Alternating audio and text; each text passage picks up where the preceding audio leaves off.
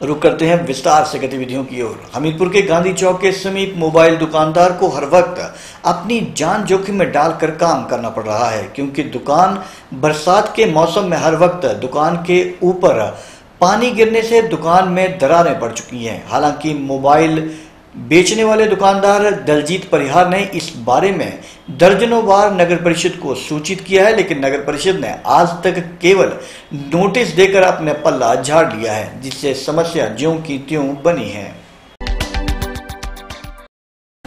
हमीरपुर के गांधी चौक के समीप मोबाइल दुकानदार को हर वक्त अपनी जान जोखिम में डालकर काम करना पड़ता है, क्योंकि दुकान बरसात के मौसम में हर वक्त दुकान के ऊपर पानी गिरने से दुकान में दरारें पड़ चुकी हैं। हालाँकि मोबाइल दुकानदार दलजीत परिहार ने इस बाबत दर्जनों बार नगर परिषद को सूचित किया है, लेकिन नगर परिषद ने आज तीन साल बीतने के बाद भी केवल नोटिस देकर ही अपना पल्ला झाड़ा है, जिससे ये समस्या ज्यों की त्यों बनी हुई है। अब थक हार कर परिहार ने इसकी शिकायत हमीरपुर पुलिस थाना में की है। बता दें कि गांधी चौक पर मोबाइल दुकानदार दलजीत परिहार काफ़ी सालों से दुकानदारी करता है, लेकिन दुकान के साथ लगते भवन के द्वारा पानी की डाउन पाइप न लगाकर पानी को सीधे दुकान के छत पर गिराया जाता है, जिस कारण जरा सी बारिश होने के बाद छत पर जमा पानी दिन भर दुकान के ऊपर से टपकता रहता है।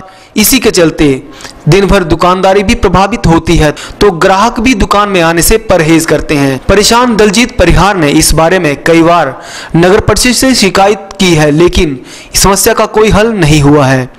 इसी कारण पुलिस में भी दलजीत परिहार ने इसकी शिकायत की थी और पुलिस ने भी मौके पर आकर समस्या को जल्द सुलझाने के लिए पड़ोसी दुकानदार से बातचीत की है। दलजीत परिहार ने बताया कि कई सालों से दुकान के ऊपर पानी गिराए जाने की समस्या बनी है और इस समस्या का हल नहीं हो सका है। उन्होंने कहा कि इस बारे में अब पुलिस को शिकायत दी है और उम्मीद है कि पुलिस इस समस्या का हल करवाएगी। सारा से मैंने एप्लीकेशन दे रखी है कमेटी के पास।